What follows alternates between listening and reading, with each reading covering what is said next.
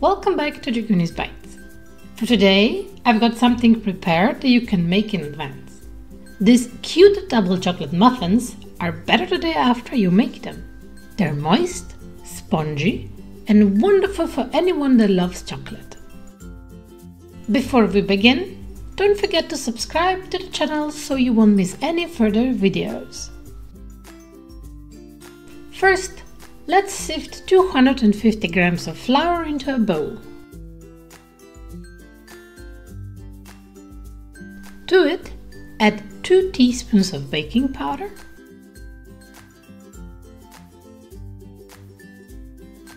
Two hundred grams powdered sugar, which you can also sift to get rid of all the lumps.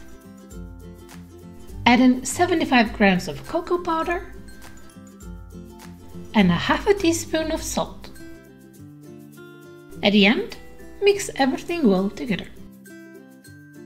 As I was mixing the dry ingredients, I noticed that I've taken too small of a bowl and just quickly transferred them to a larger one. In a bowl, crack in two large eggs and mix them up so they become super fluffy. To them, add 125 milliliters of 90% cocoa,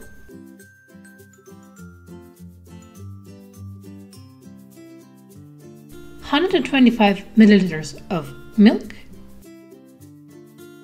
125 grams of plain yogurt,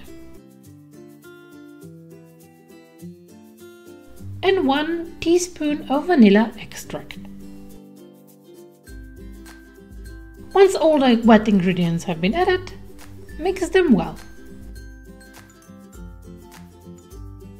Now, let's take our dark chocolate and cut it into smaller pieces. Instead of the chocolate, you can also use chocolate chips or chocolate sprinkles, as long as they're at least around 60% cocoa.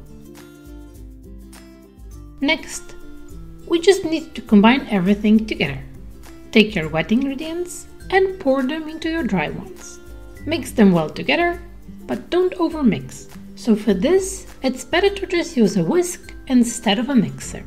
At the very end, add the chocolate pieces to the muffin batter. Save some to sprinkle on top right before they go into the oven. Preheat your oven to 220 degrees Celsius. Brush your muffin tin with a bit of oil just so that the potential overflows don't stick to it. Place in your muffin cups and fill them to the cup's edge.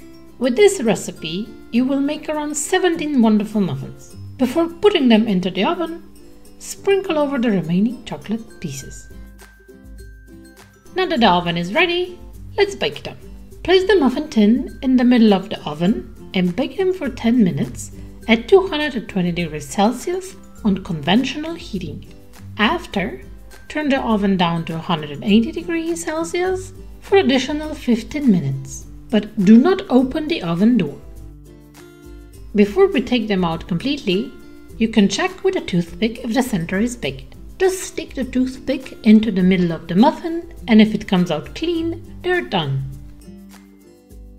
Transfer them to a wire rack and let them completely cool down.